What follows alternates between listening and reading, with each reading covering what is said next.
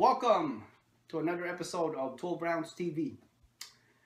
Um, today I'm going to talk to you guys about the full undercard, um, the latest and greatest on the Mayweather versus Pacquiao fight.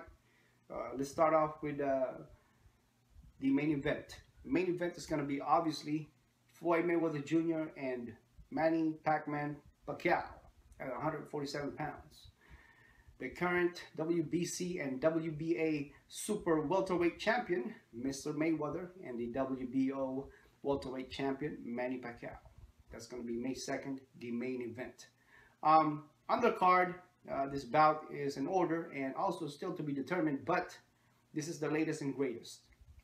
At 126 pounds, it's going to be Leo Santa Cruz versus Anthony Settoul. And at 126 pounds, WBO featherweight champion Vasyl Lomachenko and Gamalier Rodriguez. And at the 168 pounds, Jesse Hart versus Mike Jimenez. And at 154 pounds, Christopher Pearson versus Saeed Al-Harak. 200 pounds, Andrew Tabiti versus Anthony Caputo Smith. And at 154 pounds, Brad Solomon versus Adrian Granado. So there you go, guys. And um, you guys know that this is going to be the biggest event, biggest fight, the most anticipated freaking fight in the history of boxing. All right? Not only for the decade, for the probably the century. It's the most watched, probably going to be the most watched boxing match of all time. And it's, it's, it, is, it is an, a historic event that we all are about to witness.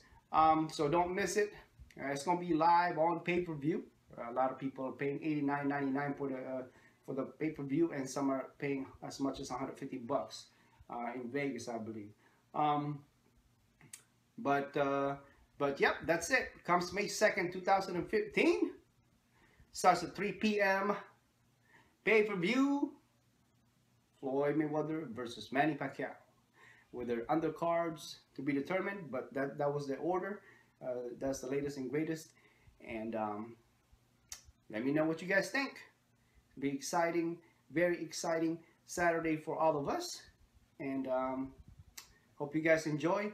And uh, if you haven't subscribed to this uh, channel, please do. And comments down below. Uh, and I'll talk to you in the next one. Peace.